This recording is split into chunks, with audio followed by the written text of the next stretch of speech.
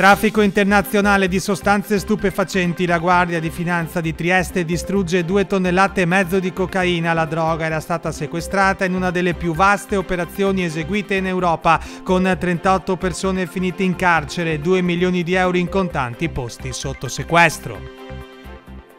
Immigrazione e accoglienza sul territorio è polemica dopo i continui arrivi. In Italia una media di 700 persone al giorno. I presidenti delle regioni puntano a scongiurare le tendopoli nelle città. La proliferazione del granchio blu può arrivare a far perdere quest'anno fino all'80% della produzione del comparto pesca. È il dato emerso oggi nell'incontro tra Regione Veneto e pescatori a Porto Tolle. La specie mangia qualsiasi tipo di vongole, cozze e ostriche, taglia le reti e divora branzini e orate. Zaia ha chiesto al governo lo stato di emergenza. Il traghetto Bibione-Lignano supererà le 100.000 presenze. Le stime sorridono al servizio di collegamento tra le due località e alla promozione del turismo lento, sempre più ricercato dai turisti che oltre al mare scelgono la scoperta del territorio. Eccoci dunque ad informarvi, ben ritrovati con il TGM, il telegiornale di Media 24. Eh, San Michele al tagliamento, un uomo colto da malore trasferito a Udine. È accaduto eh, questa mattina, un eh, cinquantenne è stato soccorso dal personale medico infermieristico per un grave malore al quale è seguito un arresto cardiocircolatorio. È accaduto in piazza Guglielmo Marconi, l'uomo si trova all'interno di un mezzo quando le persone che erano sul posto si sono accorte che stava male la chiamata di aiuto è arrivata alla sala operativa della centrale 118 di Mestre che poi eh, l'ha eh, dirottata eh, su quella del Friuli Venezia eh, Giulia. Il personale medico infermieristico proveniente dalla Tisana ha avviato le manovre di rianimazione cardiopolmonare che sono continuate fino all'arrivo nel pronto soccorso dell'ospedale latisanese dove il cuore dell'uomo ha ripreso a battere. Per lui è stato poi disposto il trasferimento all'ospedale Santa Maria della Misericordia di Udine. Abbiamo sentito dai eh, titoli, distrutte 2,5 tonnellate di cocaina dalla Guardia di Finanza dopo una delle più importanti operazioni contro il traffico di droga a livello internazionale. Il servizio Tania Pellegrini. Martedì 22 agosto il nucleo di polizia economico-finanziaria di Trieste ha concluso una delle più vaste operazioni antidroga d'Europa, con la distruzione definitiva di 2149 panetti di cocaina, parte delle 4,3 tonnellate di stupefacente sequestrato tra il 2021 e il 2022. L'operazione denominata Geppo 2021 aveva portato all'emissione di un'ordinanza di custodia cautelare in carcere per 38 persone in Italia, Colombia e vari paesi europei, oltre che al sequestro di circa 2 milioni di euro in contanti. Ieri Narcotico è stato portato, grazie a un imponente servizio di sicurezza predisposto dalle Fiamme Gialle, all'inceneritore del capoluogo giuliano dove è stato definitivamente distrutto. L'attività di smaltimento segna le fasi finali dell'importante azione investigativa coordinata dalla Direzione Distrettuale Antimafia, che aveva visto gli uomini della Guardia di Finanza di Trieste portare a termine un'operazione eccezionale non solo per la quantità dello stupefacente sequestrato, ma soprattutto per il numero di consegne controllate portate a termine. Ben 19 sono state le operazioni sotto copertura eseguite tra il maggio 2021 e il maggio 2022, in cui i finanzieri sono riusciti ad inserirsi nel cuore delle organizzazioni criminali coinvolte. L'attività investigativa coordinata dal PM dottor Federico Frezza aveva portato all'arresto di esponenti di spicco della criminalità organizzata calabrese e del noto clan del Golfo in Colombia, spietato gruppo paramilitare dedito alla produzione dal traffico di cocaina a livello globale. Lo stupefacente sequestrato sul mercato avrebbe reso tra i 240 e i 500 milioni di euro. Attualmente sono 23 gli imputati nei cui confronti sono state emesse condanne a pene detentive comprese tra i 4 anni e mezzo e i 9 anni di reclusione. Per 11 di questi le condanne sono già divenute irrevocabili. Della cocaina sequestrata e distrutta rimarranno a disposizione dell'autorità giudiziaria solo piccole percentuali di campioni necessari nelle fasi processuali che si svolgeranno prossimamente. 41 violazioni al codice della strada e 20 punti patente saltati. Questo è il bilancio degli ultimi controlli svolti eh, dalle forze dell'ordine nel Pordenonese, un eh, presidio di sicurezza disposto dal questore di Pordenone e coordinato dal dirigente della sezione polizia stradale di Pordenone, Guglielmo Bavaresco, con l'impiego di pattuglie oltre che della polizia, anche dei carabinieri, della Guardia di Finanza e con i comandi di polizia locale dei comuni di Aviano, Azzano Decimo, Maniago, Pordenone Cordenone Mons, Sacile e San Vito al tagliamento. 11 pattuglie, 241 persone controllate, oltre a 180 veicoli. A Pordenone sono comparse scritte sulle vetrine dei locali sfitti e opera dell'artista di strada noto come Freak of Nature che per la prima volta ha colpito anche il Friuli Venezia Giulia. 90 negozi sfitti della città che nella notte sono stati marchiati dall'artista. Il tratto è realizzato con colori a base d'acqua facilmente lavabili e disegna il caratteristico marchio del bambù accompagnato da un numero che identifica ogni negozio con le serrande abbassate. L'obiettivo, scrive su Facebook, Freak of Nature è portare sotto i riflettori di cittadini, amministratori, associazioni di categoria e media le tantissime attività sfitte, negozi abbandonati che ormai ci circondano, diventati luoghi non luoghi, inducendo a una riflessione sociale. Pordenone è una delle innumerevoli città eh, lombarde, venete, emiliane e romagnole colpite proprio dall'artista. Ormai sono molteplici le località italiane dove tanti locali hanno abbassato definitivamente le serrande. A Motta un atto vandalico indagano le forze dell'ordine. Ennesimo episodio inqualificabile nel centro storico di Motta di Livenza. La vetrata di un'attività commerciale, la nota pizzeria Megusta, molto frequentata dai mottensi e anche dai turisti, è stata presa di mira da un atto vandalico. Qualcuno l'ha sfondata con un segnale stradale che era stato divelto nei pressi. Il fatto è stato segnalato dai carabinieri che, inoltre, hanno visionato le immagini della videosorveglianza denunceranno una persona. Non si capisce la motivazione del gesto, scaturito al culmine di tensioni tra i cittadini e qualche commerciante. Al vaglio anche i filmati delle telecamere. È un'estate maledetta per le attività centrali di Motta di Livenza. Lo scorso luglio un'altra attività del centro, il Gym Bar di Piazza Luzzatti, aveva subito danni alle vetrate e tavolini esterni per colpa di una lite che ha riguardato due persone straniere per motivi di gelosia. L'ordine pubblico a Motta sta diventando un problema molto serio. Immigrazione, ogni giorno in Italia si contano circa 700 arrivi. Alcuni sindaci contestano la strategia dell'accoglienza sul territorio. Per i presidenti delle regioni bisogna scongiurare le tendopoli nelle città ed è polemica.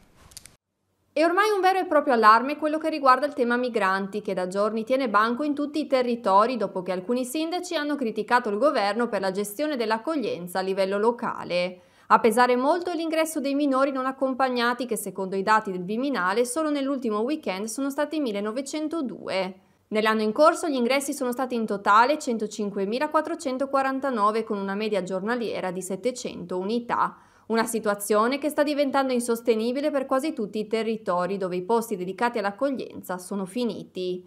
Per molti presidenti delle regioni, tra cui il governatore del Veneto Luca Zai e dell'Emilia Romagna Stefano Bonaccini, vanno scongiurate le tendopoli e i mega sembramenti, cose che si stanno già intravedendo nei territori d'ingresso della rotta balcanica come i comuni di Trieste e Gorizia. Sui minori non accompagnati, che pesano anche in Friuli Venezia Giulia, il deputato di Alleanza Verdi e Sinistra Angelo Bonelli ha annunciato un'interrogazione al ministro Piantedosi, definendo il governo uno scaricabarile che lascia soli i comuni e i sindaci italiani senza nessun piano di accoglienza.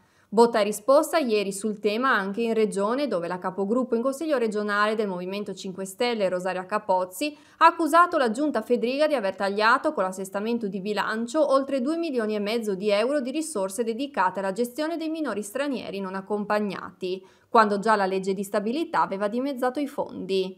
Per la pentastellata era questione di tempo prima di vedere migliaia di migranti riversati per le strade delle città a causa della mala gestione da parte del governo.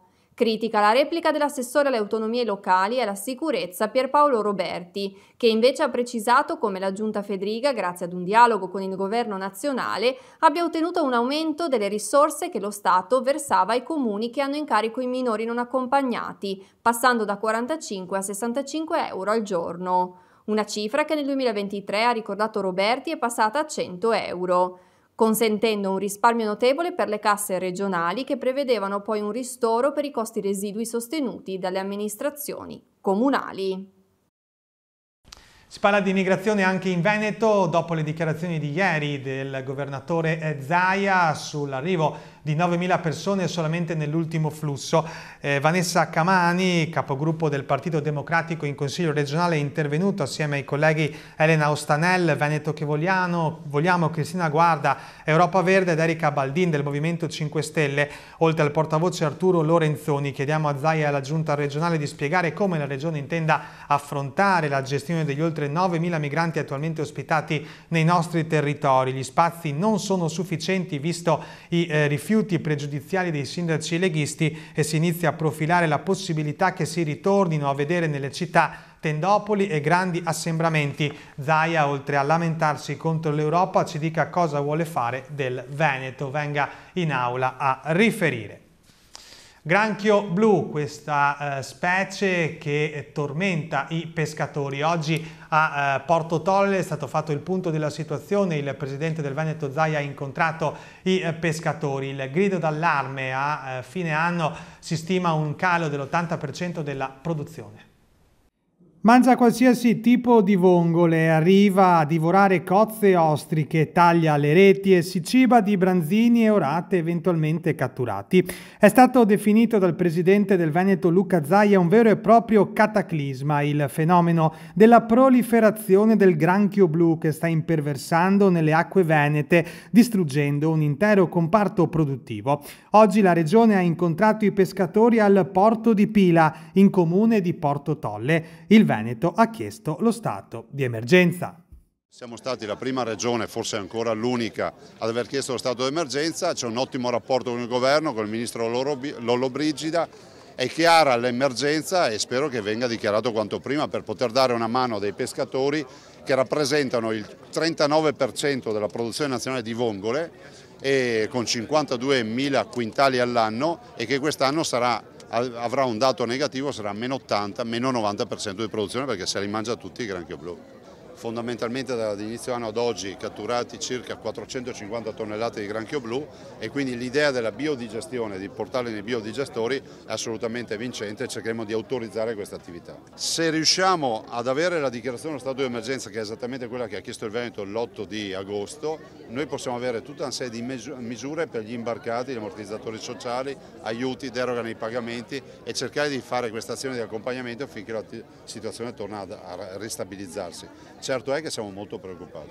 In tanti parlano di opportunità di questo granchio blu, ma così non è, non è la nostra eccellenza. Ma guardi, senza voler andare a pescarlo, ma semplicemente in maniera eh, fortuita, trovandoselo nelle reti, è stato pescato un quantitativo di 450 tonnellate, destinate al consumo umano 150, il che la dice lunga su quanto diciamo, sia invasivo e quanto poco sia utilizzabile poi. Granchio Blu dunque in primo piano, in studio con noi c'è l'onorevole Rosanna Conte, ben ritrovata. Buonasera a tutti, grazie dell'invito. Abbiamo sentito quelli che sono insomma, i gridi d'allarme, si stima una eh, produzione del meno 80% quest'anno e, e, di fatto però c'è anche un altro rovescio della medaglia che è l'esportazione, la commercializzazione proprio del granchio blu. L'onorevole Conte arriva proprio da un incontro in questo senso perché c'è una start-up femminile di Rimini eh, che ha creato insomma, un progetto nuovo valorizzato poi eh, da un'azienda eh, veneta. Si cerca insomma, di fronteggiare eh, nel miglior modo possibile questo che è un fenomeno definito come una vera e propria piaga, onorevole Conte. Una vera e propria piaga che ha creato allarme eh, in tutto il comparto della pesca perché va a modificare quella che è la nostra biodiversità marina. Argomento che io ho trattato già in Europa nel, dal 2020 col mio INI report sull'aumento delle temperature delle acque, dove si eh, evidenziava che con questa tropicalizzazione queste specie potevano avvicinarsi sempre di più ai nostri mari per l'aumento delle temperature di 2-3 gradi, sì. eh, per cui eh, ha creato grossi problemi, ma sta creando grossi problemi per quanto riguarda la biodiversità marina, in quanto è una fattispecie molto eh, vorace, aggressiva e prolifera. Una specie che, cioè è un problema che riguarda tutta la costa dell'Alto Adriatico. L'Alto Adriatico non solo, eh, ovviamente Veneto, Emilia, eh, anche la Liguria e da ricerche scientifiche fatte che stiamo facendo in Europa potrebbe anche spostarsi nel Mar Baltico. Quindi eh, la situazione andrebbe ad aggravare ulteriormente.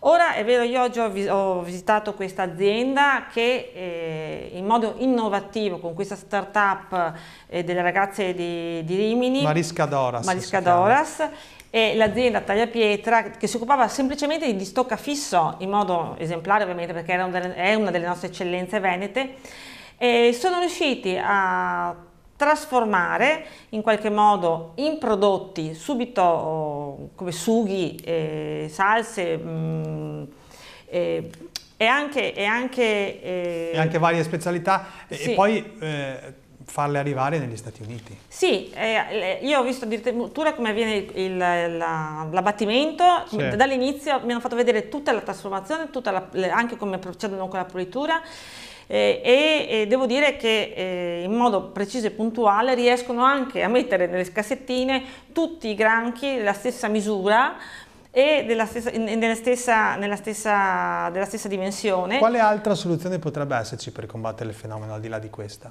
Perché c'è allora, da capire anche l'Europa in questo senso cosa sta facendo, che cosa può fare. L'Europa, allora io informalmente sto discutendo con la Commissione e, e, mm, il problema è valut stanno valutando se inserirlo nella, in quella lista delle specie invasive. Mm. Questo ovviamente ha i suoi pro e i suoi contro perché dopo per pescarlo eh, ci sarebbero delle regole ben dettagliate e dovremmo eventualmente andare in deroga a determinate posizioni dell'Europa.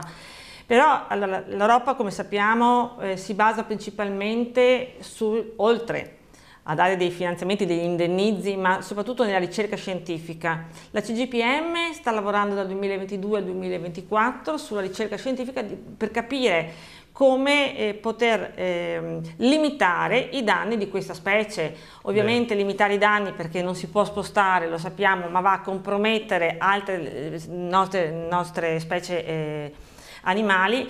Si parla di adesso di questo uccello ibis che, che dovrebbe intervenire, però allo stesso tempo andrebbe comunque ad alterare nostra, la, eh, il nostro ambiente e quindi anche questo ha, ha delle, delle, proprie eh, contrarietà per quello che riguarda il nostro territorio, perché lo sappiamo quando vengono introdotte nuove specie animali la biodiversità cambia. Bene, ci torneremo chiaramente, grazie Rosanna Conte. Grazie. Per essere stata con noi. Parliamo di turismo, il traghetto Bibione-Lignano supererà le 100.000 presenze. Sfondata quota 87.000 presenze al traghetto X-River che collega Liliano Riviera con Bibione nella zona del Faro. La comunicazione ufficiale è arrivata l'altro giorno. Nei giorni a cavallo di Ferragosto sono state ben 7.000 le presenze sul traghetto, a testimonianza che forse il servizio funziona e come se funziona. Contiamo di superare 100.000 unità, ha detto Giorgio Ardito, il presidente di Lignano Pineta SPA. Con il sistema di traghetti vigente è possibile per chi ha la bicicletta salire a cavolo e raggiungere Grado per poi pure fare ritorno in giornata. Ancora turismo è una stagione balneare dai numeri positivi, quella che si sta vivendo a Eraclea Mare. Al Giro di Boa il primo bilancio fa ben sperare dello sprint finale che potrebbe portare altre soddisfazioni alla località, lo rende noto Confcommercio. Siamo nell'ordine del 15% in più rispetto alla passata stagione. Il commercio, che è il comparto che soffre di più, ha comunque avuto un segno positivo nell'ordine del 2%, non ultimo i pubblici esercizi che hanno fatto grandi numeri anche a inizio stagione, ora si assestano secondo Confcommercio attorno all'8%. Per quanto riguarda il comparto ricettivo ci sia stata un'occupazione media dell'80% con punte da tutto esaurito nei fine settimana. Il comune di Fiume Veneto ospiterà Capire e fare buona amministrazione, un percorso di formazione organizzato dal sistema integrato ANCI Compa Friuli Venezia Giulia, appositamente pensato per offrire agli amministratori neoeletti le conoscenze teoriche e le abilità pratico-metodologiche di base per poter esercitare il proprio ruolo di amministratori pubblici locali con maggiore consapevolezza e capacità operativa. Il via dal 30 di settembre. Massimo Zanon è Presidente della Camera di Commercio Venezia Rovigo, ben ritrovato Presidente. Che eh, focus possiamo fare in questo particolare momento eh, dell'anno in cui si va verso la fine delle vacanze da un lato e arriverà insomma eh, un autunno che sotto certi versi, lo abbiamo sentito anche dal Ministro Giorgetti, nell'elaborare insomma, le prime idee sulla legge finanziaria non sarà certamente facile.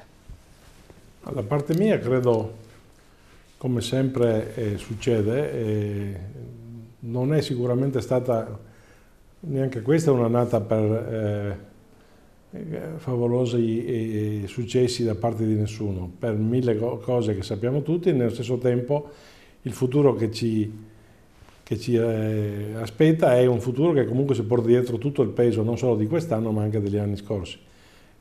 Non sono così pessimista, ben sapendo se tutti eh, ci mettiamo in testa, proprio parlo a livello di singola persona, che eh, il, il, futuro non è così facile se non portiamo avanti un, un discorso diverso rispetto all'egoismo eh, di, di, settori o egoismo di, di singoli elementi, perché non c'è dubbio che questo è un paese che si deve salvare da una situazione critica mettendo insieme le buone idee e soprattutto la voglia di lavorare che è fondamentale per riprendere ad essere non solo competitivi ma produttivi fine, fine a, a se stessi. Come sta il mondo del lavoro, Presidente? Perché una recentissima indagine della Bussola di Veneto Lavoro, che abbiamo dato notizia in questi giorni, insomma, ha eh, delineato come eh, chiaramente la stagionalità è, è, fa da traino, soprattutto anche nel veneziano, però anche qui i chiaroscuro non mancano in vista dei prossimi mesi. Non so dal punto di vista vostro, del vostro osservatorio, com'è. In questi giorni sono gli artigiani che lanciano l'allarme che mancano un sacco di figure per occupare spazi in quell'ambito e nel, nell'ambito del eh, rimanente mondo produttivo non è diversa. La stagionalità ha eh, in qualche modo aumentato le pro problematiche per chi lavora tutto l'anno, adesso magari in qualche modo si troverà eh, soluzioni legate al mondo del turismo al mondo dei servizi, ma credo non sia ancora iniziato il percorso di recupero. D'altra parte venivamo da una situazione imprevista e questa situazione imprevista non era stata né programmata né tantomeno ragionata per come si è poi eh, evoluta e siamo ancora a metà del guado. Cosa ne pensa di chi sul fronte del tema dell'immigrazione rilancia con forza la necessità di un ricambio generazionale da un lato, ma anche dell'introduzione di nuova forza lavoro anche a seguito dei flussi migratori? Guardi, l'Italia è stata uno dei paesi che ha portato più manodopera nel dopoguerra in giro per il mondo. E se chi vuole venire in Italia viene perché ha voglia di lavorare, ha voglia di riscattare una situazione difficile che si porta dietro da casa, non è sicuramente eh, accettabile che si debba dire di no, esattamente come invece secondo noi dobbiamo dire di no a chi viene senza voglia e senza nessun tipo di obiettivo se non quello di essere in qualche modo in un paese migliore rispetto a quello suo. Quindi si devono trovare le formule per far arrivare le persone, per preparare le persone, per far lavorare le persone e nello stesso tempo se qualche italiano ha ancora un po' di, di briciolo non pensi solo a far lavorare gli altri, possa lavorare anche lui. Sul fronte dei saldi come è andata, anche se magari ancora non abbiamo dei dati definitivi? Guardi, la moda eh, subisce molto eh, anche il fatto meteorologico, siamo ancora in altissima stagione di caldo, per cui magari qualcosa in più di quella che poteva essere l'abitudine negli ultimi anni di spesa rispetto a, alla produzione eh, estiva. E non può essere eh, sufficiente immaginare che una stagione recupera quello che si era in qualche modo eh, impantanato negli anni Chiaro. scorsi, ma non è questo l'anno peggiore. Ecco, possiamo dire questo non è rose e fiori, ma non è l'anno peggiore. Se però insomma, nella classifica più alta dovessimo fare chiaramente un indice, è chiaro che a livello regionale l'export fortunatamente sta regalando grosse soddisfazioni. E questa è l'altra parte della medaglia, per cui noi non dobbiamo immaginare un paese che, che vive solo di, di turismo o che vive solo esclusivamente di manifattura. È un paese che vive nell'insieme e che deve essere capace sia di esportare, perché siamo sempre stati capaci di produrre eh, prodotto e produzione di qualità, sia di far arrivare un, un forte eh, numero, stiamo sempre parlando di milioni di, di, turisti, per fargli in qualche modo innamorare sempre di più di quello che è un paese che per quanto possa essere in chiaroscuro rimane uno dei paesi più belli al mondo. Grazie a Massimo Zenon a voi. per essere stato con noi. Continuiamo il telegiornale ad Annone Veneto, arriva nelle fine settimana la fiera degli Osei. Tutto pronto ad Annone Veneto per la 38esima edizione della Fiera dei Osei. L'inaugurazione prevista per venerdì 25 settembre alle 19.30 con la mostra presso l'oratorio in via Sant'Antonio dedicata alla bonifica in Veneto orientale. A seguire la serata giovani. Domenica 27 agosto una lunga giornata. Non mancheranno stand enogastronomici ed eventi musicali con la presenza di oltre 250 volontari. Tante le iniziative in programma. Gara canora, mostra di uccelli da gabbia e voliera, mostra da animali da cortile, rassegna cinofila amatoriale per tutti i cani di famiglia di razza e meticci. Quindi la conclusione con lo spettacolo del gruppo folcloristico Pastoria del Borgo Furo e i consueti fuochi d'artificio previsti per le 22. L'appuntamento è tra i più importanti sul fronte delle fiere ornitologiche e accoglie, come da tradizione, migliaia di persone tra appassionati e curiosi non solo dall'entroterra veneziano e trevigiano, ma anche dal vicino Friuli Venezia Giulia. Mele di Biancaneve color rosso intenso e di ottima qualità sono queste le prime impressioni riguardanti le gale estive, le prime mele a inaugurare la lunga stagione del raccolto del frutto che in Italia conta moltissime varietà e che in Veneto vede primeggiare la provincia di Verona con oltre 4.400 22 ettari. L'annata si preannuncia migliore rispetto all'anno scorso, fa sapere Conf Agricoltura. In Veneto risultano in aumento sia la superficie totale a Meleto che quella già in produzione, oltre a Verona, anche Rovigo e Padova eh, appunto regalano degli ottimi numeri e seguono Venezia con Treviso, Belluno e Vicenza. La Regione del Veneto ha approvato il bando 2023-2024 per la concessione del contributo regionale per la fornitura gratuita totale o parziale di libri di testo e contenuti didattici alternativi a favore degli alunni meno abbienti delle scuole secondarie di primo e secondo grado, statali e non statali. La cifra messa a disposizione a livello ministeriale per il Veneto è di oltre 6 milioni e 300 mila euro. L'anno scorso le domande pervenute sono state 43.481. Portogruaro il Baskin finanziato da un concorso di bellezza. Un grande concorso di bellezza finanzierà una delle attività sportive più importanti per il mondo dei disabili nella città di Portogruaro. Il 2 settembre 2023, con inizio alle ore 17, il centro di bellezza Eva di Portogruaro ospita il concorso di bellezza più importante nella città dell'Eme nella finale regionale di Miss Universo Italy. Alla selezione regionale prenderanno parte alcune tra le più belle donne veneziane provenienti dal Friuli. Non per niente si tratta di una grande selezione. Parte del ricavato durante la serata servirà a finanziare Energy Baskin, ovvero la squadra di Baskin di Portogruaro. Il Baskin è lo sport che mette assieme sportivi con disabilità e normodotati. Ultimi due appuntamenti invece per la rassegna musicale Valcellina in Musica organizzata dall'associazione Fa Diesis nella splendida cornice che abbraccia Montereale Valcellina ma anche Andreis, Barcis, Cimolais, Clout, Erto e Casso. Sabato alle 17 in via Roma tra le suggestive strade di Erto Vecchia la musica incontra la street art nell'evento 22.39 l'istante spezzato. Il giorno successivo, domenica 27 alle 18, nella chiesa parrocchiale Sant'Andrea Apostolo di Andreis, appuntamento con alchimie musicali e la musica del duo che vediamo in foto formato da Elga Anna Pisapia e Rosangela Flotta. Grazie per averci seguito, con questo davvero tutto, vi lascio come sempre alle nostre previsioni del tempo, a seguire la rubrica La parola A condotta da Stefano Boscariole, poi le notizie dei colleghi nazionali di Italpress e non perdetevi alle 22 l'appuntamento con il film. Arrivederci.